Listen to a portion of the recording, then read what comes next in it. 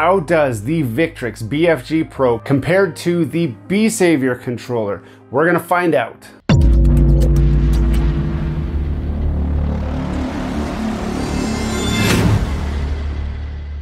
Hello and welcome back to Gears and Tech.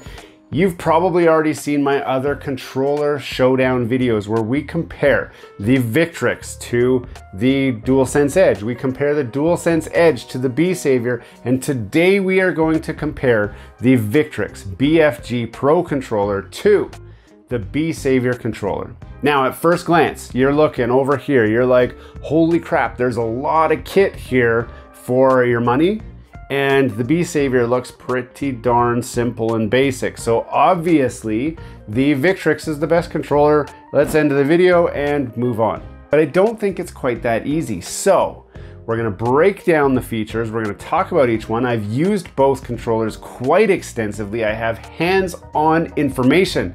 This is not me watching some video of some guy. I have the controller right here. As you can see, I have both of them. I've tested both of them. I have an opinion about both of them. Maybe it's not a popular opinion, but what I can tell you is this video is sponsored by me.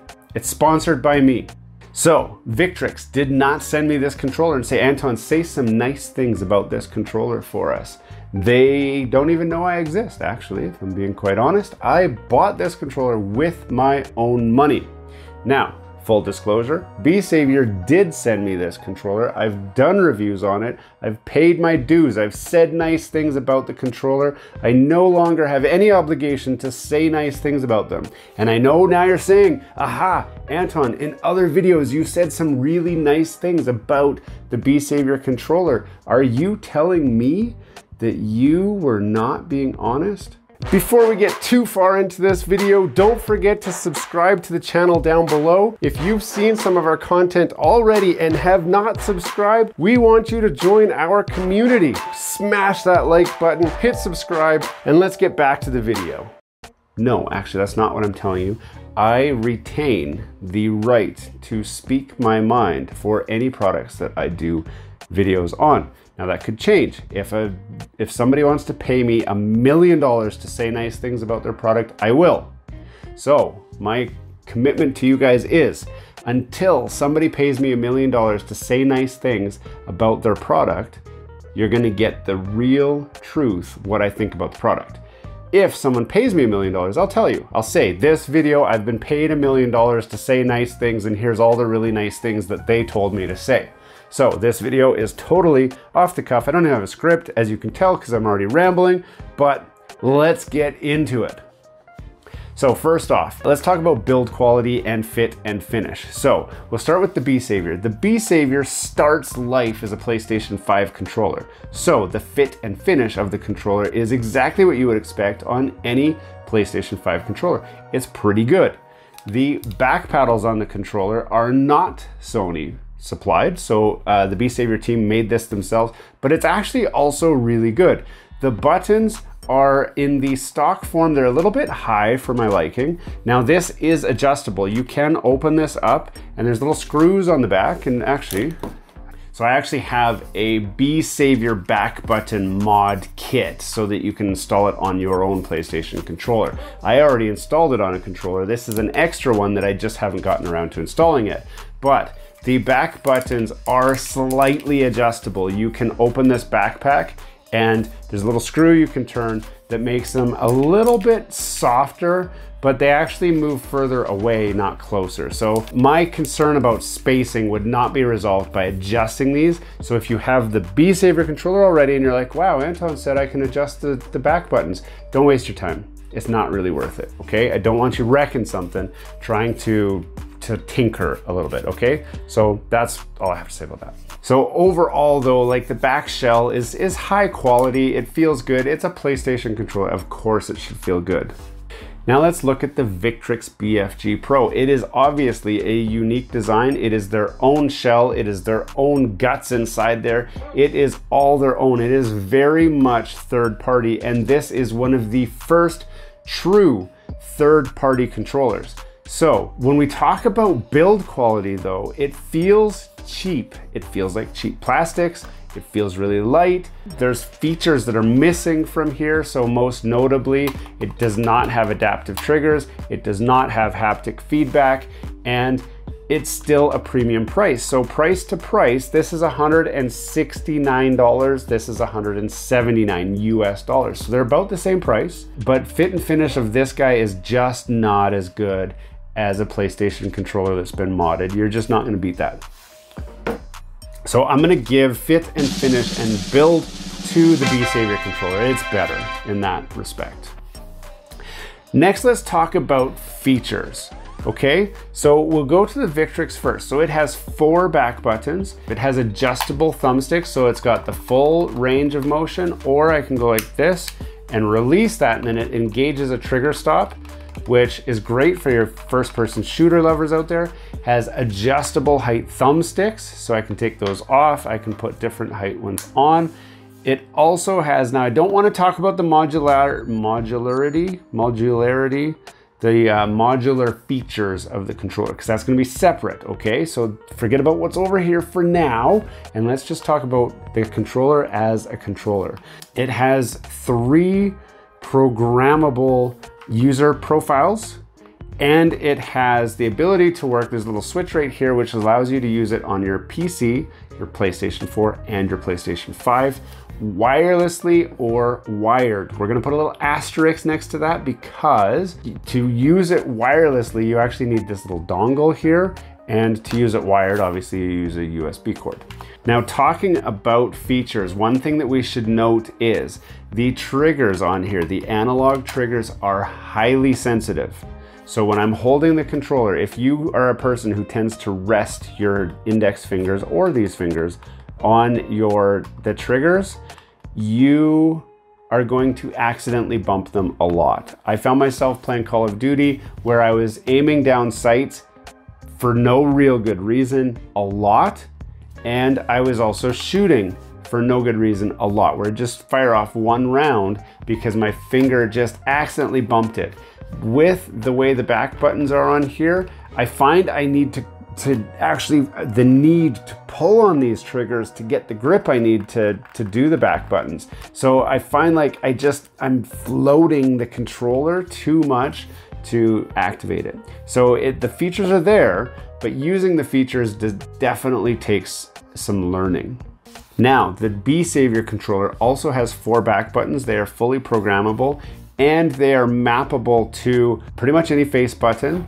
There's no adjustable trigger stops, so you have the adaptive triggers that your regular PlayStation controller has, so you can have a fake trigger stop, but they are full throw triggers and there's no way around that.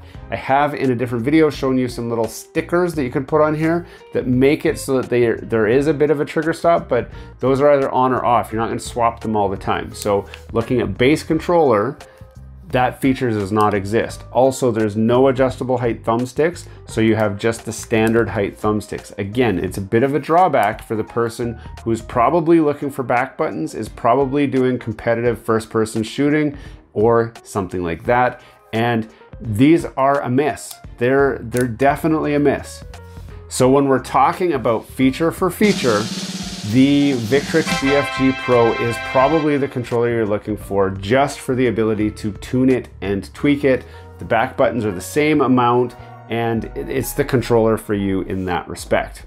Now we're gonna venture out a little bit into two categories that neither controller supports on the other. So first one would be the modular features of the Victrix Pro. Now I've shown you in different videos, so I'm not gonna go through it here, but these two modules actually are removable. This one can be removed, swapped around and stuck back in.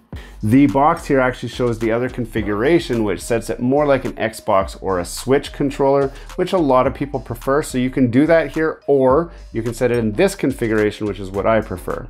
You also have this other guy right here. Now this is the fight stick adapter. It has micro buttons on here, so they're like mouse click buttons, and it would replace this module right here, which allows you to use it with all of your fighting games. So if you've got Street Fighter, you've got Mortal Kombat, games like that, if you play those kind of games and you don't want to have all your money tied up in just one controller, you could buy this controller and it would do your fighting games, it would do your first person shooter games, and it will kind of do your everything else games. What it does not do very well is what I call an experiential game. Now, an experiential game would be a game that has a story, it has missions, it has features and functionality that tries to immerse you into the experience.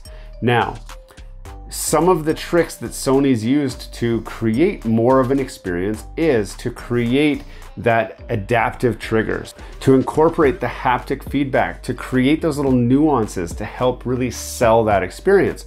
This controller does not have any of those. So if you are somebody who finds yourself playing experiential games a lot, this is not your controller. Straight up, it is not. This is for the tournament player, the guy who's playing Call of Duty and needs that competitive edge. This is your controller. The guy who's playing Mortal Kombat or Street Fighter, this is your controller. The guy who's playing Call of Duty kind of casually but wants to have a little bit of an advantage, but also wants to play a racing game with the adaptive triggers or an experiential game with the haptic feedback and the adaptive triggers, this is your controller. Straight up, this is your controller. So, when we talk about modularity, the Victrix Pro, it's got it down.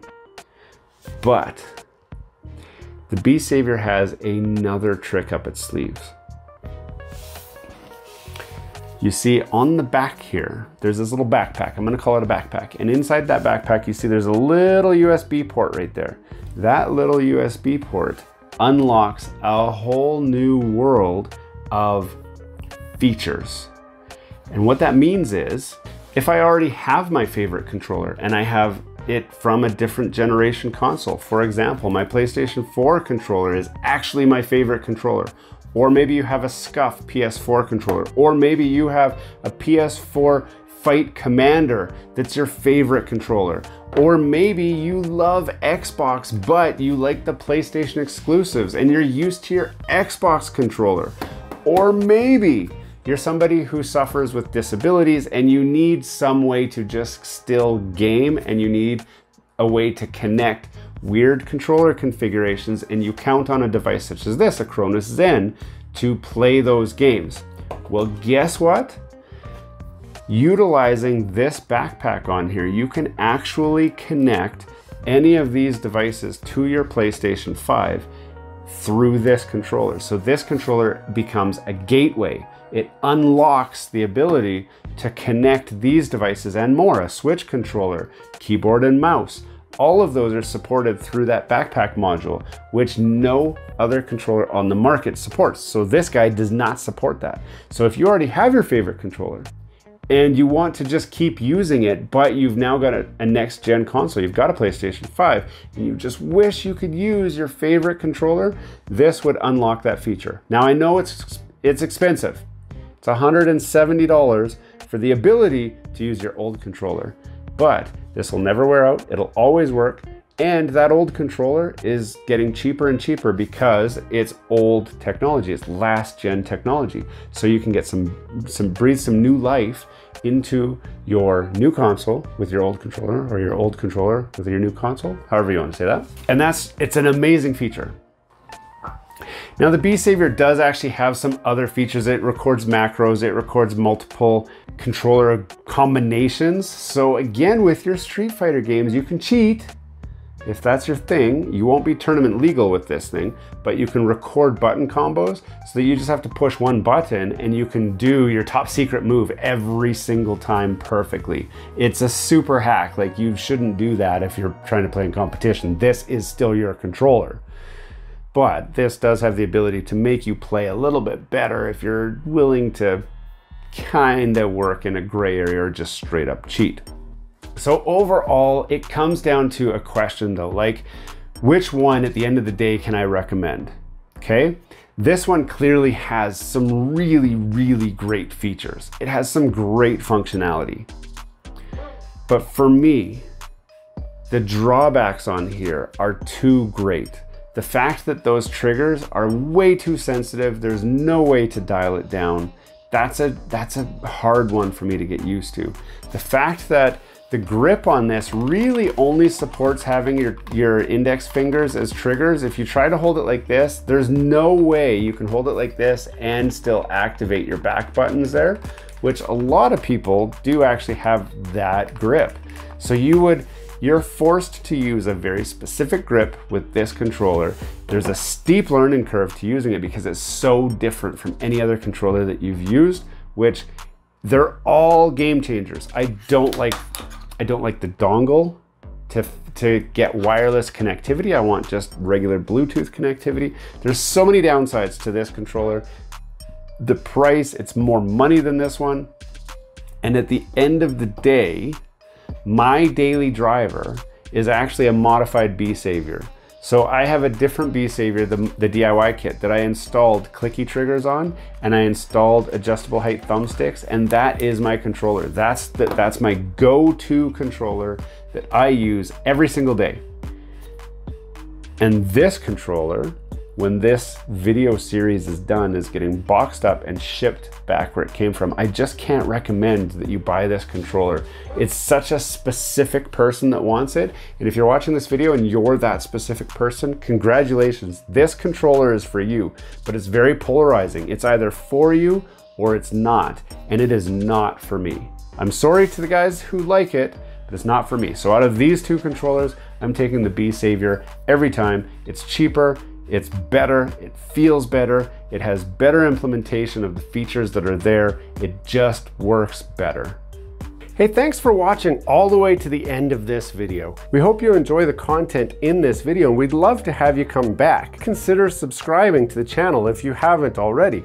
And for those subscribers who are looking for that extra special thing that you can do to support this channel, consider joining our members group. That's where we're building this community, the Gears and Tech community, where we can all enjoy content together. You'll get special perks, which we'd love for you to check out by clicking the link down below. For those of you who are just happy to watch the video, that's okay too you can check out some of our other content right over here, where we've got some previous videos that have already been uploaded and enjoyed by many of our viewers already. We do hope to see you again. This has been Gears and Tech. Have a great day.